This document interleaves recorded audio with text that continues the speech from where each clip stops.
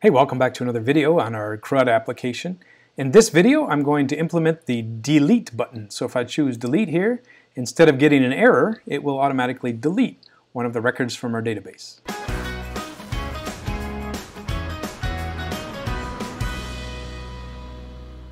So how are we going to make delete happen? Well, let's take a look at what the URL is expecting. So we are seeing delete as the action and then the ID number following it. So we can probably implement that in the controller. So let's go take a look at our controller and let's see if we can make that happen.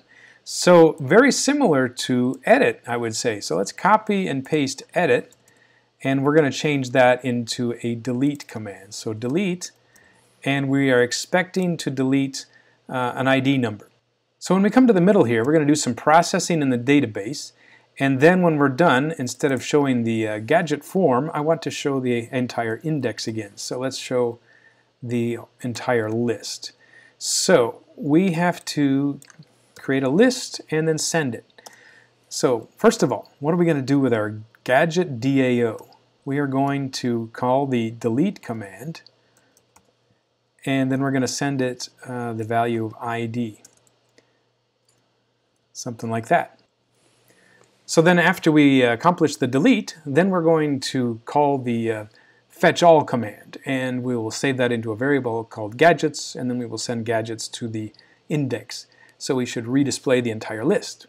Now obviously delete doesn't work here yet so let's go and see what we can do to fix that. So if I choose show potential fixes and uh, we can generate the method and it should show up in the DAO. Let's go see if it's there. So the DAO somewhere is supposed to have a delete command.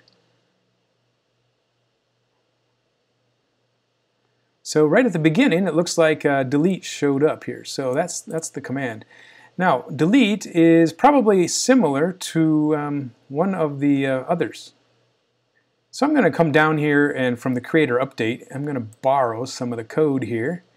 And I think we can probably get by with some samples that we've got there. So let's see. Let's go and replace the not implemented stuff and let's fix it up. Okay, so we're here, delete. We're expecting to get an integer, and then we're going to select somebody. So uh, let's see, let's get the uh, if statement out of there. We're not going to need that. And let's see, that's all gone. And let's just make a straight query string. So there we go, back to insert.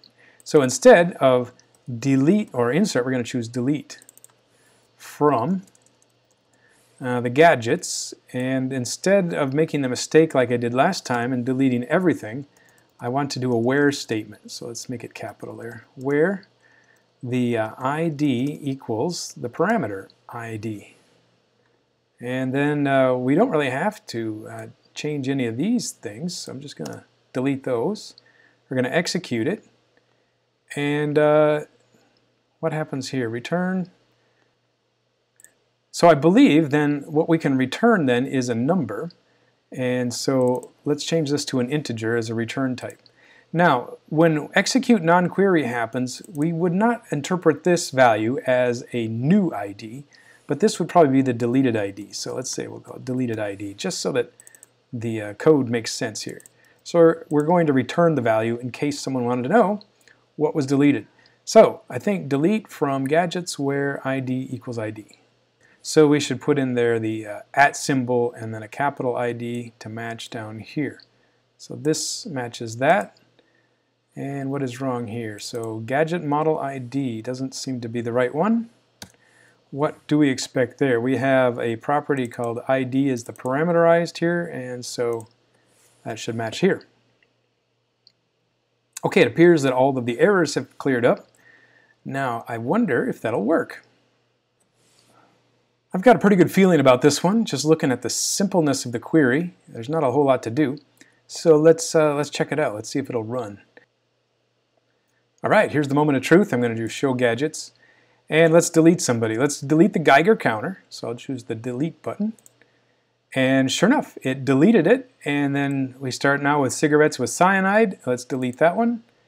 And now we're back to Dragon Tank. So it appears that the delete is doing its job. Right, so the next one that I'd like to implement is a search box. So that way we can eliminate, eliminate some of the searches. We don't have to see the entire list. We can search and find them. So that's going to take a little bit more SQL statements to make that work. But we'll do that in the next video.